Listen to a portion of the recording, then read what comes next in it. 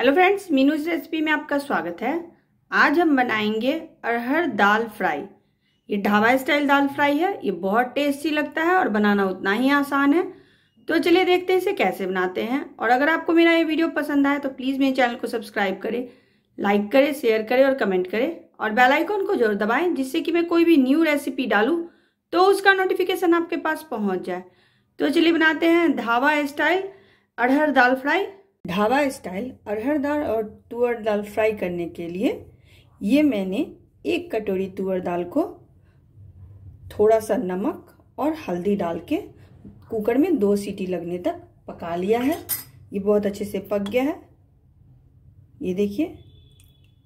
तो अब हम इसका तड़का लगाएँगे। तड़का के लिए हमने लिया है एक टमाटर, एक प्याज, थोड़ा सा लहसुन क्रश किया हुआ, थोड़ा सा अदरक क्रश किया हुआ एक हरी मिर्ची। मिर्ची जो है वो आप अपने हिसाब से कम ज़्यादा कर सकते हैं और एक चौथाई जीरा। तो चलिए हम फ्राई करते हैं इसे।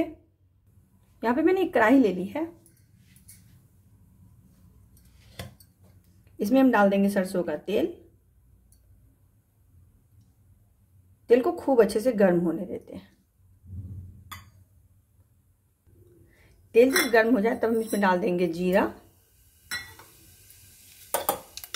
हरी मिर्ची, लहसुन और अदरक। तो हम थोड़ी देर भून लेंगे।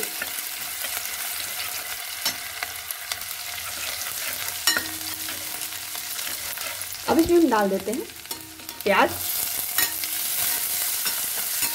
एकदम पतले पतले टुकड़ों में कटे हुए। यहीं पे हम डाल देंगे आधा चम्मच हींग। जिससे कि दाल जो अरहर की दाल को पचने में आसानी होती है और गैस भी नहीं बनता है। और इससे इसका टेस्ट भी अच्छा आ जाता है। प्याज को हमें हल्का सा ट्रांसपेरेंट होने तक भून लेना है। प्याज जो है वो हल्का लाल हो गया है। अब हम इसमें डाल देते हैं टमाटर। गैस को कम कर दें। फिर हम डाल देंगे आधा छोटा चम्मच धनिया पाउडर, आधा छोटा चम्मच लाल मिर्च पाउडर और आधा छोटा चम्मच गरम मसाला पाउडर। हल्दी और नमक हमने पहले ही दाल को उबालने में ही डाल रखा था। हल्दी और नमक का यूज़ हम नहीं करेंगे यहाँ पे। अब हम इसे अच्छे से भून लेते हैं। टमाटर को हल्का सा गलाना है, बहुत ज़्यादा हमें नहीं गलाना है।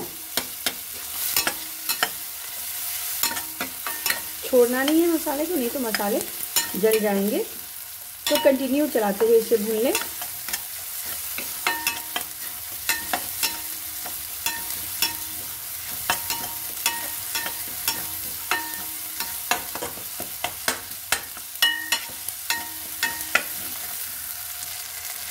टमाटर भून गए हैं।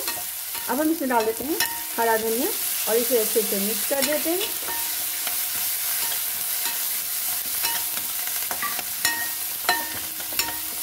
ये मसाले तैयार हो गए। अब जो हमने दाल को उबाल के रखा है, वो डाल देंगे इसमें। अच्छे से मिक्स कर देंगे। और बस, दाल में सिर्फ़ उबाल आने तक हमें इसे पकाना है। कि दाल तो हमारा पका हुआ है। सिर्फ़ एक उबाला है जिससे कि दाल और मसाले सब अच्छे से मिक्स हो जाए। तो इसे हम उबलने देते हैं, खोलने देते हैं। दाल जो है वो खोलने लगा अब हम गैस को बंद कर देते हैं और इस दाल को एक बाउल में ट्रांसफ़र कर लेते हैं और अब हम तड़के की तैयारी करते हैं। तो तड़का लगाने के लिए ये मैंने तड़का पैन ले लिया है और इसमें हम डाल देंगे घी। घी आप एक चम्मच ले लें।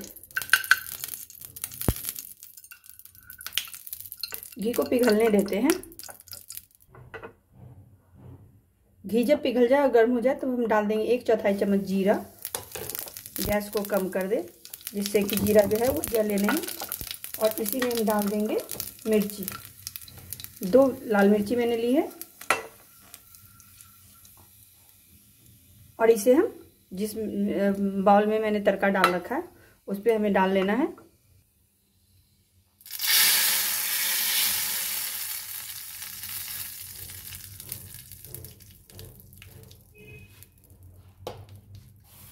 ये ढाबा स्टाइल अरहर की दाल फ्राई बनके तैयार हो गई है। आप इसे एक बार ज़रूर ट्राई करें और मुझे बताएँ कि आपको ये रेसिपी कैसी लगी।